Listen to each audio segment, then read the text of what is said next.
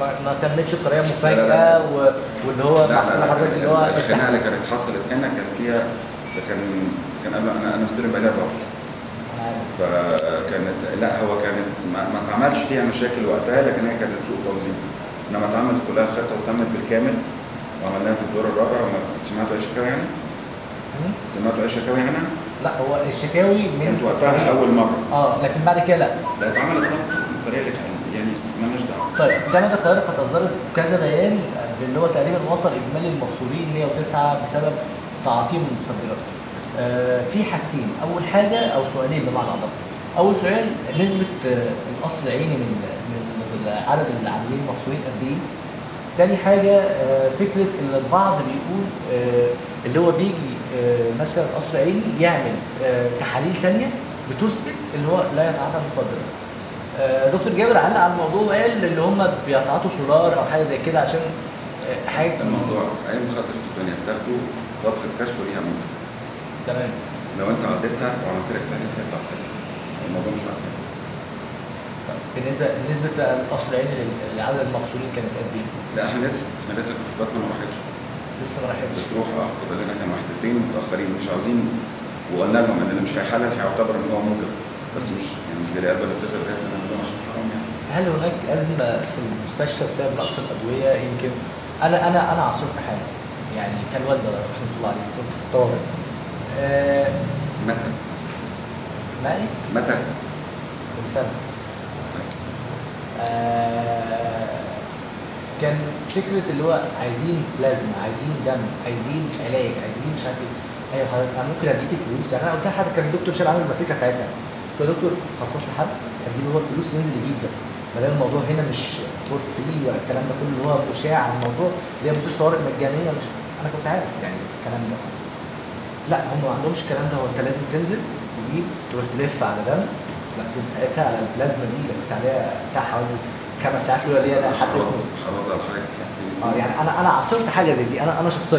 هرد على حاجة اتفضل. نمرة واحد انزل الطوارئ دلوقتي اتنين روح بنك الدم دلوقتي نمرة ثلاثة وافهم رد تحسبني على خمس اشهر ماشي.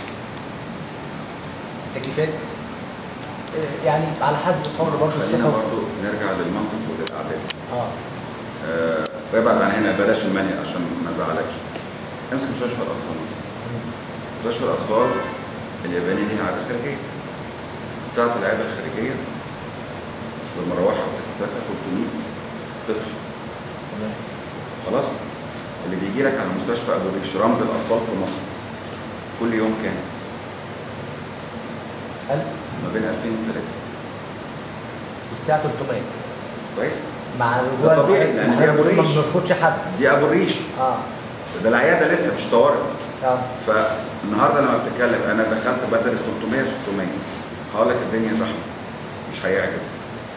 وهتلاقي 1400 واقفين بره. برضه مش هيعجب. ليه؟ مش عارفين يدخلوا. okay؟ فهو في حاجات مش هنقدر نعمل فيها حاجة. simply ضغط العدد الاسرائيلي قد إيه؟ في كل المستشفيات. في بقى ضغوط تانية لطيفة جدا بقى. ودي أنا مش عارف أعمل فيها حاجة مطلع عيني.